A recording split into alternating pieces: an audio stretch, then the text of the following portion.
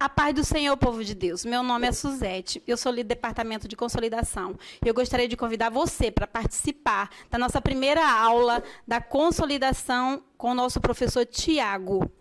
Pode ser, meus irmãos. Estamos na primeira aula de consolidação. Quero aproveitar para te convidar a você estar assistindo essa aula conosco. Somos do Ministério Jeová Rafá. Meu nome é Tiago Azevedo e é um prazer poder estar contigo nessa aula.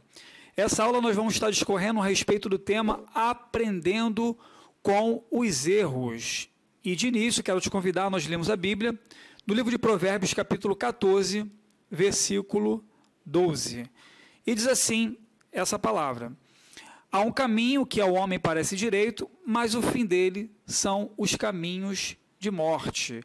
Esse versículo ele é muito polêmico no sentido de dizer que para o homem existem caminhos que, segundo a sua ótica, são caminhos que parece que estão conduzindo o homem à vida, mas, infelizmente, alguns desses caminhos, na verdade, estão levando o homem à ruína, à morte. E nós podemos pegar esse tema, aprendendo com os erros, e analisar como é que está a nossa vida. Porque muitas das vezes, de fato, nós estamos errando, mas não estamos adquirindo o conhecimento, não estamos adquirindo o aprendizado que é importante se obter quando erramos.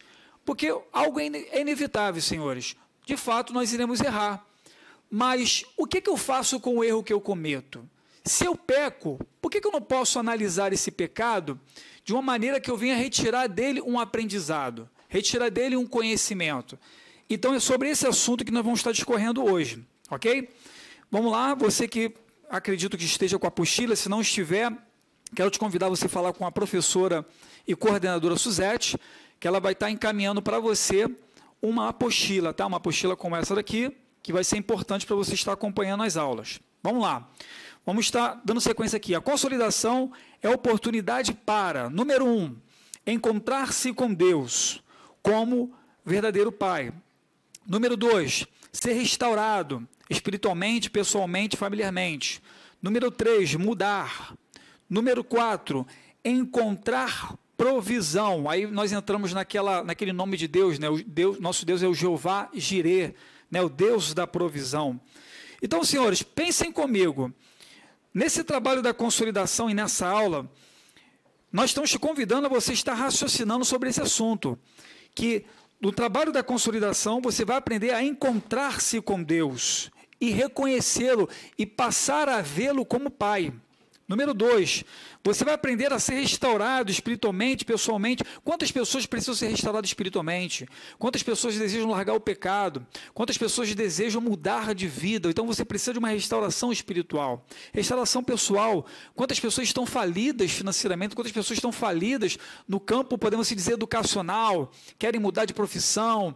Querem mudar um caminho acadêmico? Estão estudando uma faculdade que eles não, não, não, não acreditam que esse é o caminho que eles devem seguir? Exemplo exemplo, eu já presenciei uma, uma, uma menina na faculdade, que ela estava no quinto período da faculdade de Direito, e ela simplesmente parou de estudar Direito e começou a faculdade de Nutrição.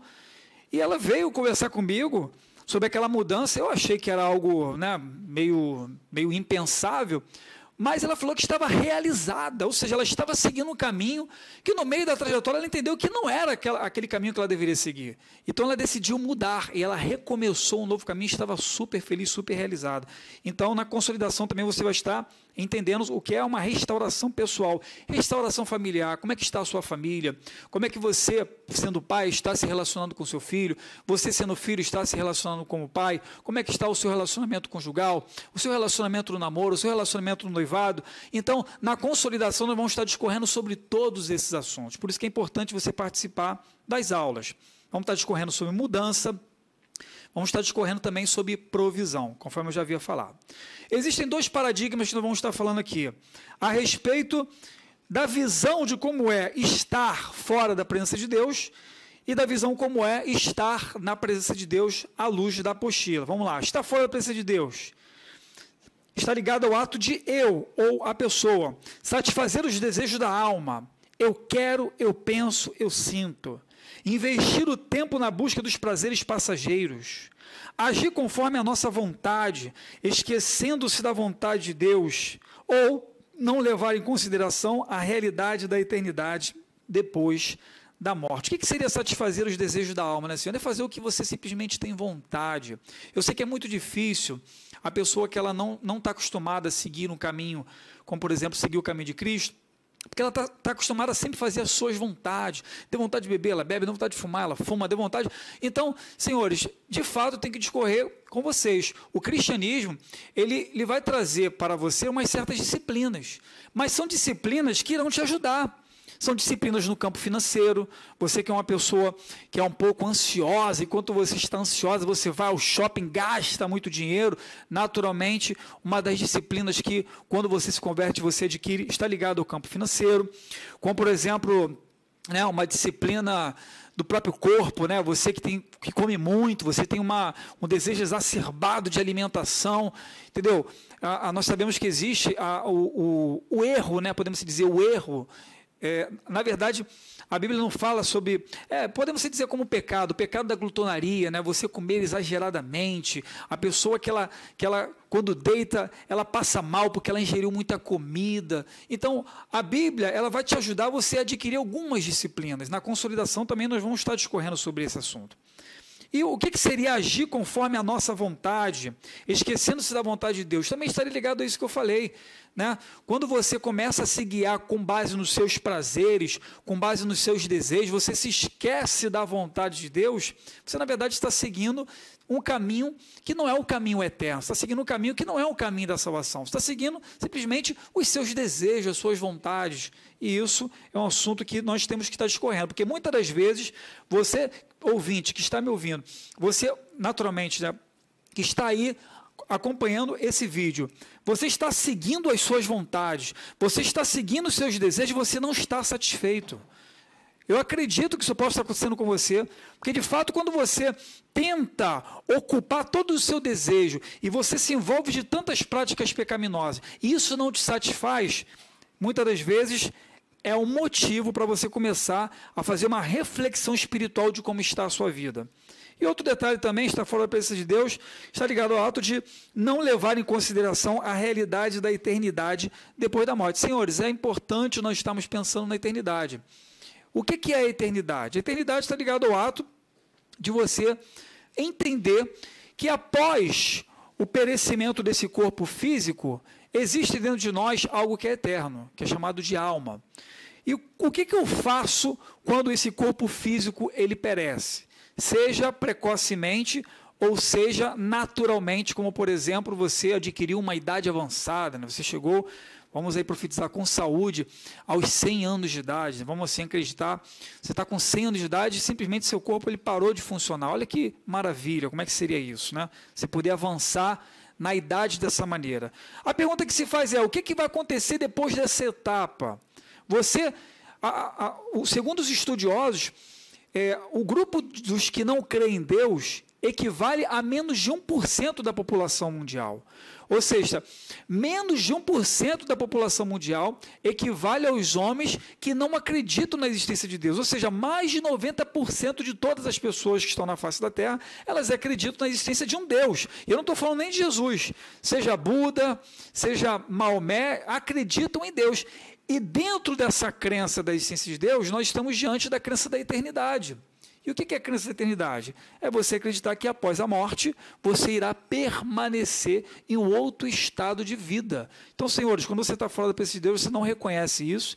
Você, inclusive, enfrenta a morte diversas vezes, correndo o risco de se preparar para esse momento. Como assim, Tiago? Se preparar? Eu posso me preparar para viver uma vida após a morte? Sim, você pode se preparar. Eu não estou falando para você se preparar para a morte.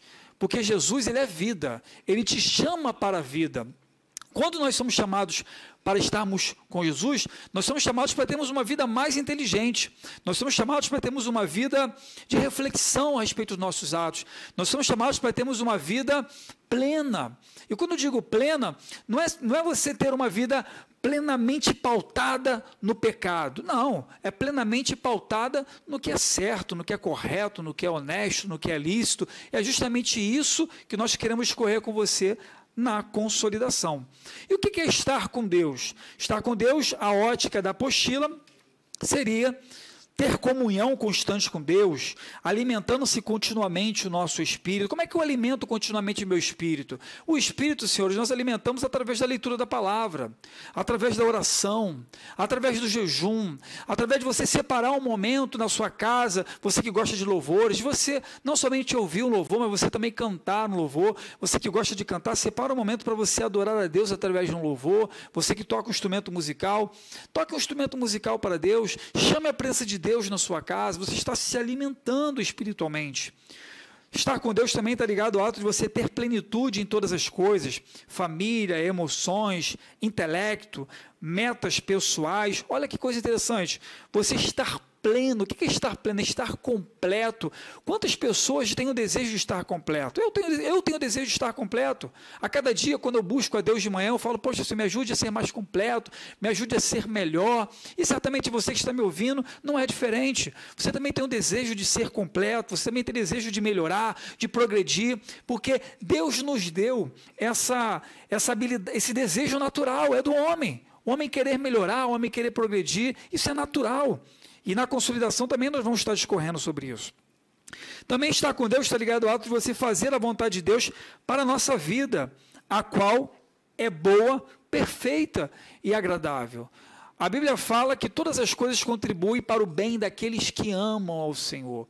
Então, todas as coisas, sejam coisas que muitas das vezes é positiva, sejam coisas que na nossa ótica muitas das vezes não é muito positiva. Senhores, até isso que você olha como não positivo, se você tiver uma ótica espiritual, se você pedir a Deus para Ele te dar uma mente espiritual, você vai entender que até isso que aconteceu com você, que segundo o seu olhar não é algo muito bom, Ele veio para te trazer um aprendizado, veio para te levar um conhecimento que você anteriormente não tinha, permitiu você enfrentar uma dificuldade para que a sua personalidade fosse amadurecer, para que você pudesse adquirir um patamar maior de vida. Você precisa analisar sobre isso, tá? Porque às vezes você está passando uma luta, passando uma dificuldade, muitas vezes na, na igreja nós falamos muito sobre provação, né? A palavra provação está muito no jargão evangélico. Mas você está enfrentando um problema, seja um problema financeiro, seja um problema familiar, ou que seja, você está tendo a oportunidade de pensar o que, que eu estou fazendo de errado, como é que eu posso resolver esse problema,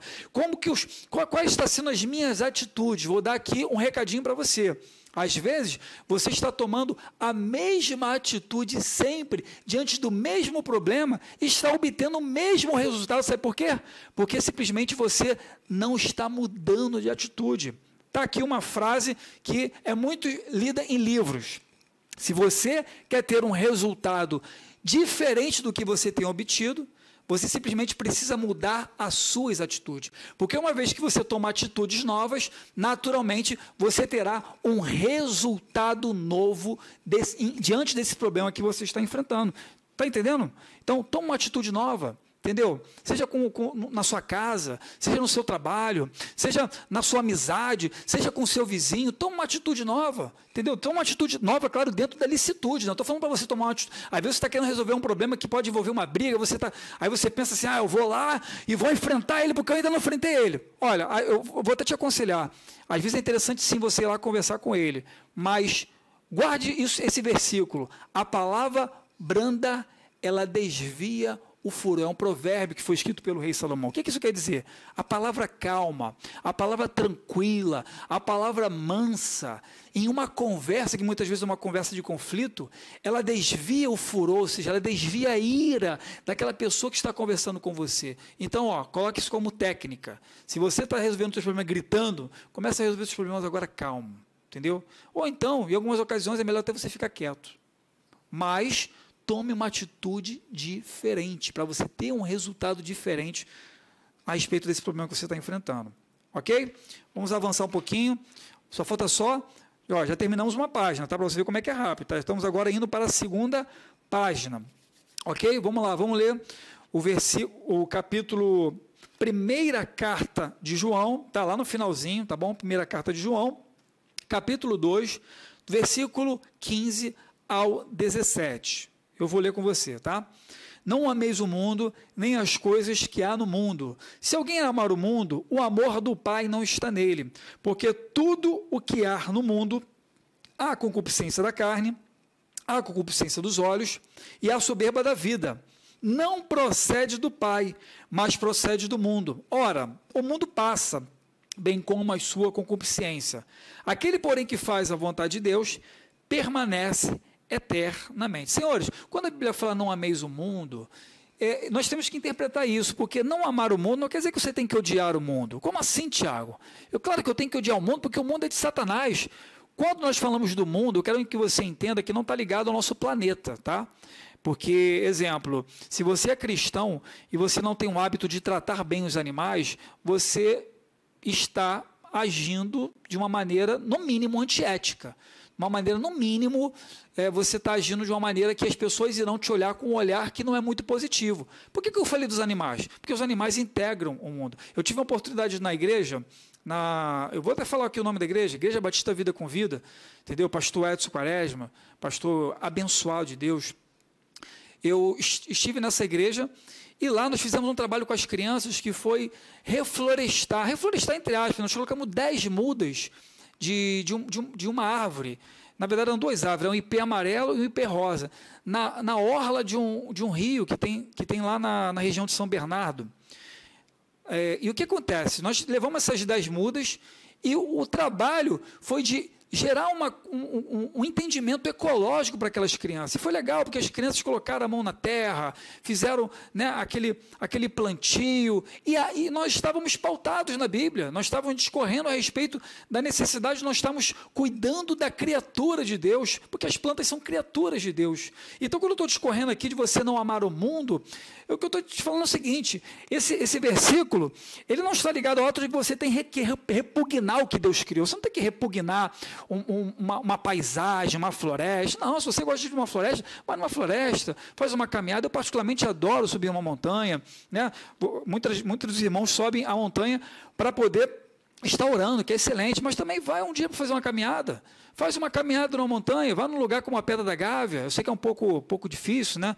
Dependendo da sua condição física, mas faça uma caminhada, entendeu? Vê os animais, fala com Deus olhando para as árvores, entendeu? Fala de, com Deus olhando uma cachoeira, entendeu? Quando você tiver a oportunidade de estar no mar, olhando o mar, contemple a grandeza de Deus, vendo o, o som das ondas, entendeu? Tem uma ótica um pouco mais ampla em relação ao mundo. Agora, Matiago, essa passagem não está falando do pecado? Calma. O que nós temos que entender é que a Bíblia fala que o mundo jaz no maligno. Quando a Bíblia fala o mundo jaz no maligno, é que o sistema mundial, podemos assim dizer, os governos né, instaurados nessa terra, infelizmente, muitos deles estão sendo dirigidos por Satanás. Entendeu? Muitos sistemas que funcionam nessa terra, de fato, estão sendo conduzidos. O sistema musical, entendeu? Muitos dos sistemas musicais estão sendo conduzidos por Satanás, você pode perceber, né? principalmente quem mora no Rio de Janeiro, né?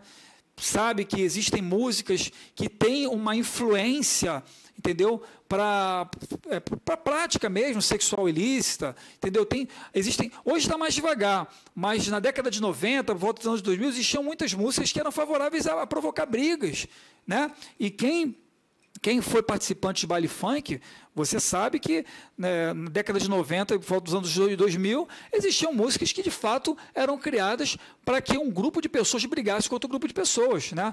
O, muitos baile funk, inclusive, foram fechados por conta disso. Então, senhores, o que eu quero discorrer é o seguinte: quando a Bíblia fala não ameis o mundo, e eu estou discorrendo agora sobre a questão de que o mundo jaz no maligno, em relação ao sistema pecaminoso, sim em relação a isso, você não deve amar. Em relação a isso, você deve se opor. Em relação a isso, você deve refutar. Em relação a isso, você deve agir de maneira impugnativa, agir, agir em oposição. Em relação a isso, sim, você não deve concordar, você não deve agir conforme está seguindo o ritmo daquela orquestração maligna. Em relação a isso, sim, eu te convido a você ir contra, a ser contrário. Não seja favorável ao pecado. Ok? Um convite especial Vamos lá. Hoje é o dia em que Deus o convida a tomar o caminho que leva à vida eterna. Então, senhores, nessa consolidação, nós já estamos indo para o fim da aula. Nós estamos aqui te convidando para que você tome uma vida nova, para que você tome uma direção nova, uma vereda nova, um caminho novo, para que você tenha a oportunidade de experimentar uma transição nova. Ah, como assim, Tiago? Eu vou aceitar Jesus, minha vida vai mudar da água para o vinho? Meu amado, não é da água para o vinho, mas você vai ter a oportunidade de estar melhorando a cada dia. E detalhe, quando você tiver a oportunidade de se entregar a Jesus, imediatamente Deus ele vai colocar ao teu lado o Espírito Santo. Quem é o Espírito Santo? É a terceira pessoa da Trindade. Quem é o Espírito Santo? O Espírito Santo é o consolador. A Bíblia chama ele de consolador, o espírito de paz, o espírito de sabedoria. Eu talvez você seja de uma religião afro e você trabalha com outros espíritos que eu respeito particularmente, né? Talvez você tenha o hábito de de trabalhar com, com, eu não gosto de citar nomes, né? Mas você trabalha com outros espíritos, você sabe que eles existem, porque eles falam na tua religião. Nós sabemos disso, senhores. Não tem como discorrer. Os espíritos, se você der uma abertura, ele entra na pessoa e ele fala sim, ele fala conosco. Agora, eu quero te convidar a você que é de outra religião a dar oportunidade para que o Espírito Santo entre na tua vida. Você que está me ouvindo, peça agora aí na tua casa, faça um desafio, fala Espírito Santo entra na minha vida, Espírito Santo fala comigo, Espírito Santo trabalha no meu ser. Espírito Santo, retira essa raiva que está no meu coração. Espírito Santo, retira esse problema que está na minha mente. Espírito Santo, me cura dessa enfermidade, me cura dessa doença. Fala com Deus. Você vai ter oportunidade de ter o Espírito Santo contigo. E você vai ter oportunidade de conversar com Ele a respeito dos seus problemas. Aí sim, meu amado, eu tenho como te falar. A sua vida ela vai progredir. A sua vida ela vai evoluir. A sua vida ela vai avançar. E quando eu falo avançar, não quer dizer que da hora do, do, da noite para o dia você vai ter condições financeiras de comprar uma BMW. Não é isso, meu amado. Eu estou falando que você vai melhorar como pessoa. Ah, Tiago, mas Deus ele não prospera financeiramente? É claro que Deus prospera financeiramente. Mas uma coisa eu quero te dizer. Muito importante nessa primeira aula da consolidação. A prosperidade também está ligada ao ato de você trabalhar, tá bom?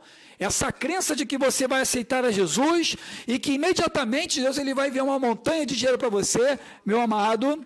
Se Deus fizer isso contigo, você pode me telefonar que eu vou disponibilizar o seu telefone, que eu quero te conhecer, porque você é uma benção. eu não estou dizendo que Deus não pode fazer isso, é claro que Deus faz. Eu já presenciei milagres financeiros de Deus colocar dinheiro mesmo, entendeu? Caiu um dinheiro desconhecido na minha conta. Inclusive, senhores, eu tenho um testemunho de que um dinheiro apareceu no meu bolso, tá? Um dinheiro apareceu no meu bolso. Eu fiz prova de Deus, perdão, não fiz prova de Deus. Eu, na minha, na minha inocência ali, como novo convertido, né? Eu estava na igreja, aí o irmão falou assim: ó, oh, entrega, né? Fiz aquela, aquela brincadeira, né? Aquela, aquela, aquele ato de fé, né? É, você, o que você tem, você entrega que Deus vai te honrar. E eu fiz, eu fiz ali um ato de fé, peguei. Eu tinha pouco dinheiro, irmãos, era o dinheiro. Eu tinha mais ou menos assim, vamos colocar hoje, atualizando 10 reais, entendeu? E eu fui, dei aqueles 10 reais, eu tinha mais ou menos na época 18 anos de idade. E eu falei, poxa senhora, o meu dinheiro da passagem, agora? O que, que, eu vou fazer? E eu lembro que eu fiscalizei todos os meus bolsos. Senhores, vou repetir. Eu fiscalizei duas ou três vezes todos os meus bolsos. E eu falei assim, Senhor, e agora? Como é que eu vou para casa? O pastor falou que o Senhor ia me abençoar. Preciso agora de um milagre. E saindo desse culto, lembro que eu fui para um outro culto, né? Nessa época eu estava buscando muito a Deus, fui para outro culto. No final do culto, Deus usou o pastor. Preste atenção. Deus usou o e falou assim: Tiago, vou te levar em casa. Aí eu olhei para ele, eu falei assim: Amém. Né? Deus ele resolveu o problema. Só que eu fiquei triste, irmão, porque eu queria um milagre. Que isso, Tiago? Deus não operou um milagre? Deus não ouviu tua oração? O pastor falou que ia te levar em casa? Sim, o pastor me levou em casa.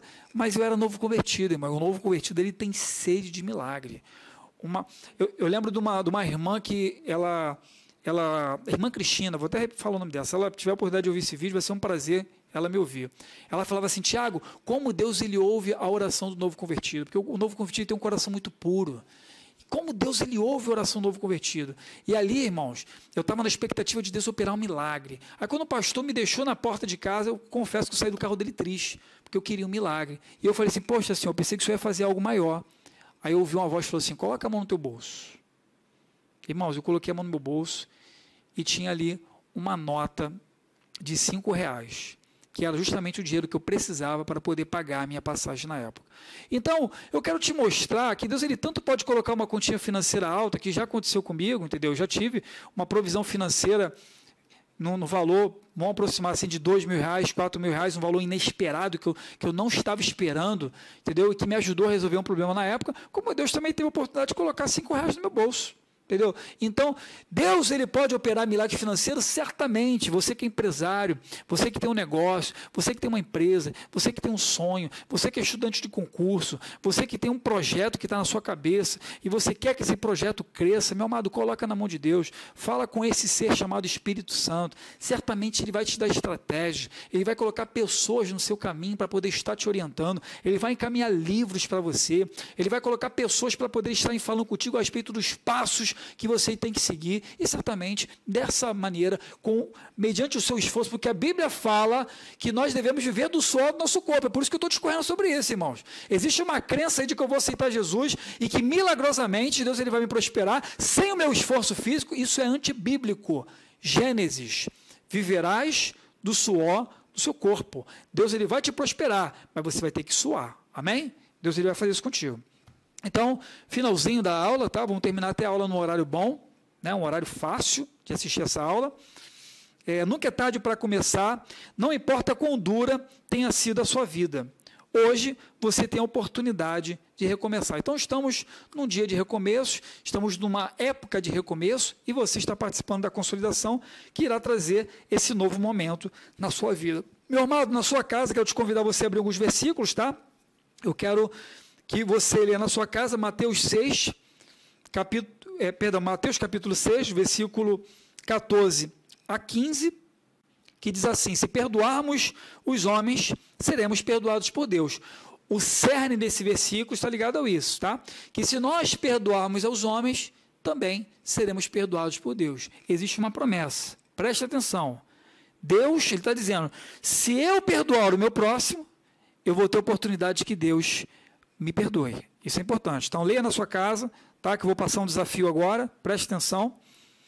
É, também quero que você leia na sua casa a respeito de Gênesis, capítulo 22, versículo 7, que está discorrendo a respeito daquela passagem em que Abraão ele vai ao monte e ele Deus ele faz um desafio com Abraão, fala assim: Abraão, pega o seu filho, seu único filho que você esperou tanto, leve ao monte e me ofereça como sacrifício. A Bíblia fala que Abraão, ele superou a sua dificuldade de conduzir o seu filho ao sacrifício, levou o seu filho até o altar, e a Bíblia fala, interessante, meus amados, que quando eles estavam subindo ao monte, presta atenção, o filho dele, que era o filho da promessa, o filho Isaac, ele falou assim, falou assim, pai, está aqui o altar, está aqui a lenha, mas cadê o cordeiro? Por que cordeiro, irmãos? porque o cordeiro ele era o instrumento que naturalmente era usado para o sacrifício. O filho perguntou ao pai: Pai, o que, que nós vamos sacrificar? Ele não sabia que ele seria o próprio sacrifício. E a história conta que Abraão amarrou seu filho e colocou sobre o altar. E ele, com muita dificuldade em, em obedecer, Deus deixou ele ir até o limite. Olha só, irmão, às vezes Deus está permitindo que você vá até o limite, porque Deus ele quer ver até onde vai a sua fé. Entendeu? Deus ele deixou Abraão caminhar e foram horas de caminhada. Olha que interessante. Abraão teve oportunidade diversas horas de desistir, porque aquele monte era muito alto, era longe da sua casa. Foram horas de caminhada, foram horas. Ele começou, em, ele começou no lombo de um animal. A história fala que ele começou no lombo de animal. Mas quando ele chegou na subida do monte, ele desceu do animal, deixou o animal com seu servo e foi caminhando. E foi uma caminhada longa. Abraão teve oportunidade imensa de abandonar aquele projeto, que era o ato de sacrificar o filho dele. Deus deixou Abraão ir até o final. Às vezes Deus está permitindo você até o final desse problema. Não desista, prossiga, vá avante. Você que é concurseiro, continue estudando.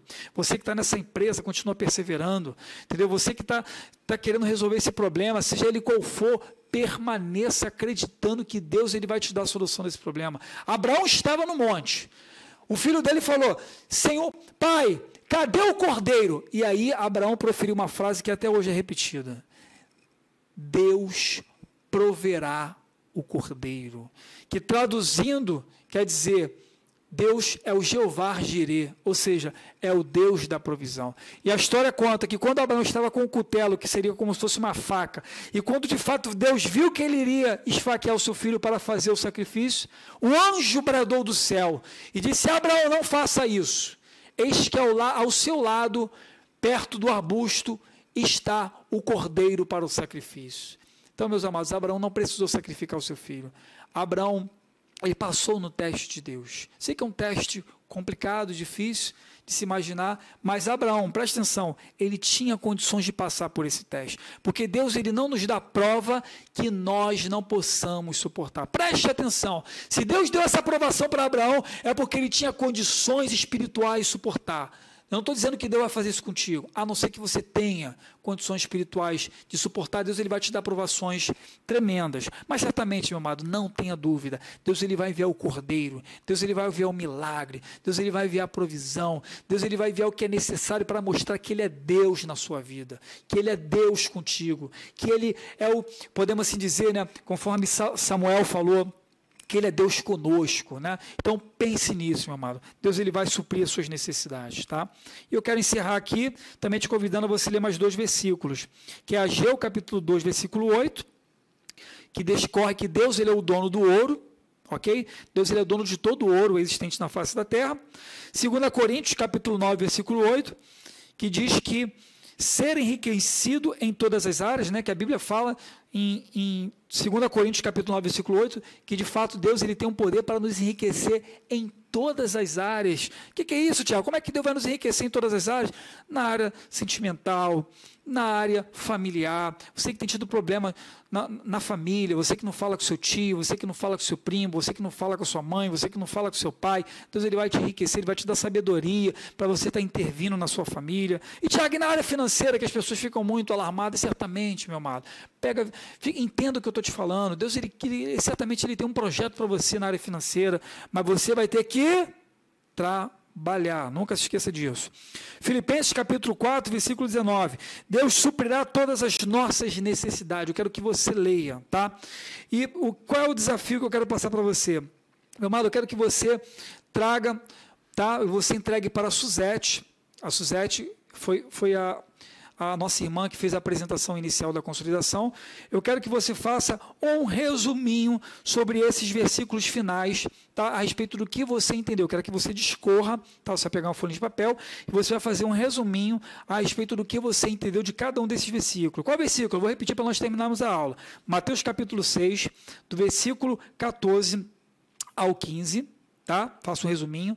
Gênesis capítulo 22, versículo 7 ok? Ageu capítulo 2, versículo 8, 2 Coríntios capítulo 9, versículo 8 e Filipenses capítulo 4, versículo 19. Faça esse resumo de cada um desses versículos, manuscrito ou datilografado no computador, traga para a igreja, você tendo oportunidade de estar na igreja, não tendo oportunidade, você vai enviar via WhatsApp, tá?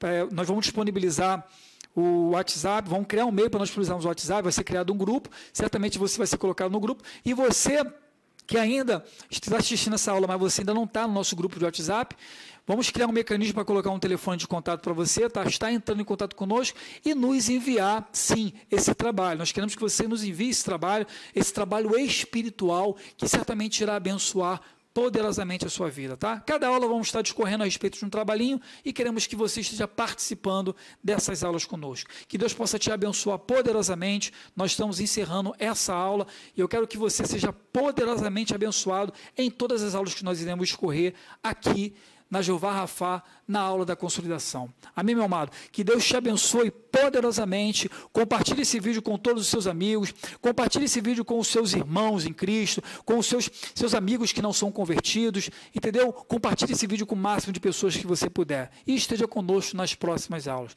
Que Deus te abençoe poderosamente. Fique com Deus. A paz do Senhor Jesus.